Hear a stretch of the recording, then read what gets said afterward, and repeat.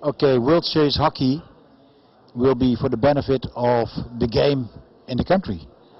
In in India, we have gone down a little bit in the last couple of years, but we want to raise the level of the game, not only with the national uh, team, but also the development programs, and therefore this is a fantastic initiative. The World Series Hockey also gives younger players the chance to train with all the players, because in every team, also in our team, the Delhi Wizard, we have 421 guys at least, but also from younger players they can see what a fantastic game hockey is, and hopefully that will help that younger players will start to play hockey again, more players in the country, and in the end that will lead to better players in your country, and that will help to bring India back to the glorious years. It will take a little time, of course. Don't expect in one year that you are there. But when we have a good development program, and every year this World Series hockey will be brought back to India with such a number of good players, for sure it will encourage young players to play this game. And that's in the end what we need here.